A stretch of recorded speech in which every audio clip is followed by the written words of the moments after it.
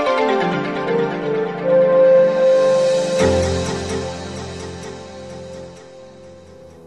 Curious People, tahukah Anda bagaimana cara menulis pesan teks atau email secara efektif?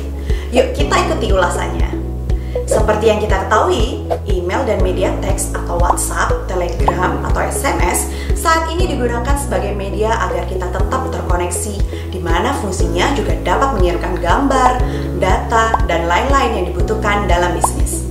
Jika digunakan secara tepat, media ini dapat menjadi faktor pendorong dalam interaksi kepada pelanggan atau ke karyawan. Tetapi apa saja sih yang harus diperhatikan dalam mengirimkan email yang baik? Yuk kita bahas satu persatu. Yang pertama, tulis subjek dengan jelas. Buatlah seinformatif mungkin dan singkat, sehingga penerima secara mudah menemukan dan merespon. Yang kedua, tulis pesan dengan tata bahasa yang tepat. Jangan lupa ya perhatikan penggunaan huruf kapital. Yang ketiga, hindari singkatan-singkatan yang tidak umum dan istilah atau jargon-jargon khusus. Misalnya cyber jargon. Pada profesional dalam bisnis sangat tidak menyukainya, seperti FYI, CMIIW, atau SBB, sorry baru balas, dan lain-lain. Yang keempat, waspada akan kritisme. Pastikan kita telah memberikan konteks dan latar belakang yang cukup untuk menghindari kesalahpahaman.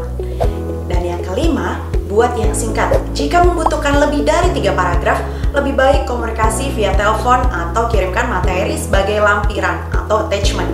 Jadi, email jangan terlalu panjang. Yang keenam, gunakan signature untuk menutup isi email. Tapi yang simpel aja ya, tidak usah tergoda untuk menambahkan pantun, quotes, atau kata-kata bijak. Yang ketujuh, sebelum email dikirimkan, periksa lagi attachment. Apakah sudah sesuai atau belum? Lalu kirim sesuai apa yang harus dilihat oleh penerima.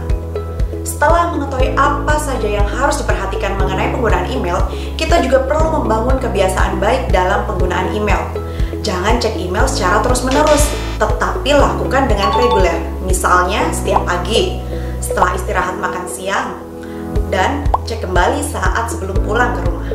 Disiplinlah dengan email manajemen Anda. Handle setiap email satu kali. Jika ada konten tidak penting atau relevan, tekan delete. Jika kita menghabiskan lebih dari 3 jam dalam satu minggu untuk sorting atau menseleksi email, setting ulang sistem Anda. Terakhir, buatlah standar waktu merespon. Kita merespon email secepatnya, orang akan terbiasa mengharapkan respon yang segera pula dan akan merasa terganggu jika kita tidak melakukannya. Rule of thumb dalam bisnis untuk merespon email adalah pada saat akhir hari di hari yang sama. Jika urgent, gunakanlah telepon. Demikian Curious People sekilas mengenai tata cara penggunaan email yang baik. Apakah Curious People sudah menerapkannya? Jangan lupa like dan subscribe channel kami. Sampai jumpa!